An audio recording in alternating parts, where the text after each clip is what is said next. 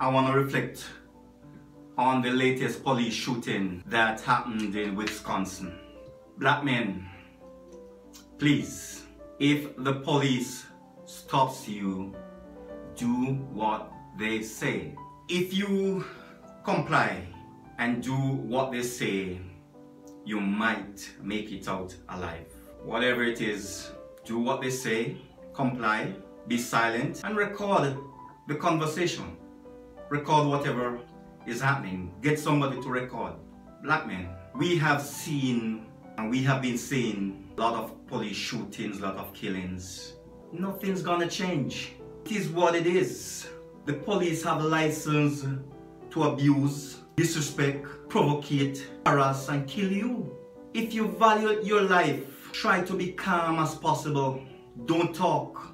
Take your cell phone and record them. At least it will show them up. That's the best we can do. Blacks in the US are ranked the lowest class citizen. Lower than Hispanics, lower than Asians, and even lower than animals. It is a fact. What else do you want to see? What else do you want to see the big picture? You already know how law enforcements are. So act accordingly. Know what they will do and they will do it. They will kill you. They will shoot you. They will pull you over without a cause. Accept it instead of fighting it. They will kill you. Now, since the death of George Floyd and the public outcry, have anything changed? Black men are still being killed, still being harassed, still being pulled over. The police cannot help themselves. No matter how many fires you burn, no matter the pleas, things will always and will always remain the same. This is how the country was built. This is how it is. This is how it always will be. I guarantee you that next year, this time, we're still gonna see videos of police misconduct, police shooting, police killings, police harassment. It's gonna be the same. It is what it is. The police will continue to harass black people no matter what. They will kill you if you resist. They will continue to be racist and refer to you as colored. And they will continue to oppress you.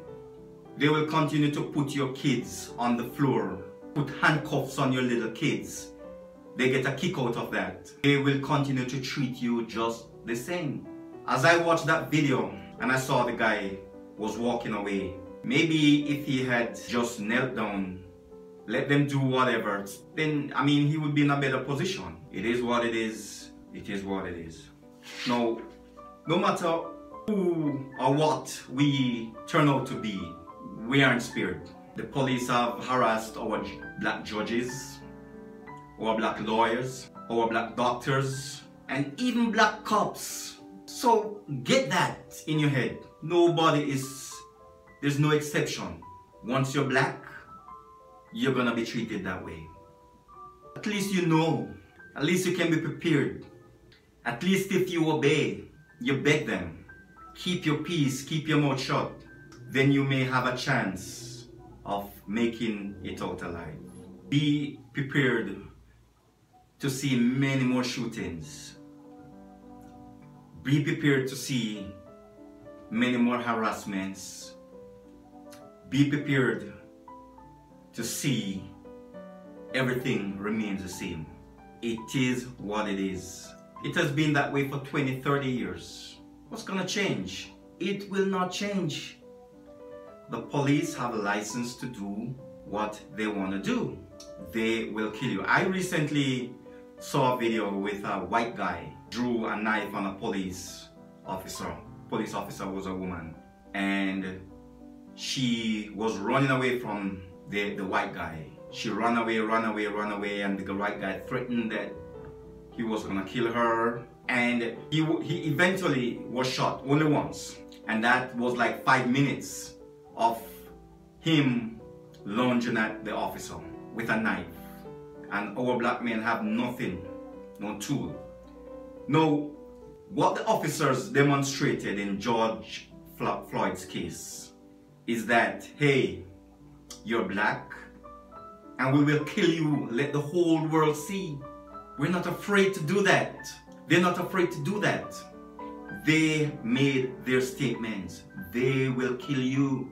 What has changed? You look on the news every day, the videos are still there. Black men being killed, black men being harassed, black men being pulled over. It is what it is. So I urge you, in order to save your life, comply, be calm. And I think if you can protect yourself by buying, investing in a small camera for your vehicle and also have your cell phone on hand that any interaction with police or law enforcement, then you record. At least there's something to say what happened. Years ago it was lynching. Now the police, years ago, we find that the police would uh, shoot. But no, they don't have to shoot. They don't have to lynch anymore. All they have to do, put a knee on your neck. That's it. They're gonna find some way.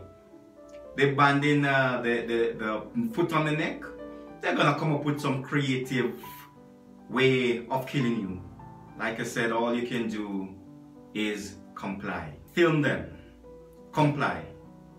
You're passing some. You're passing a, a on. You're passing someone being pulled over. Someone being stopped by the police. Take out your phone and film. Doesn't have to be you. Can be just passing a scene. Take out your phone and film. The only thing that I see that cops are afraid of or law enforcement is afraid of in this country are cameras. I firmly believe that if there's a lion and a black man side to side, the police is more likely to shoot the black man first than the lion, or vice versa.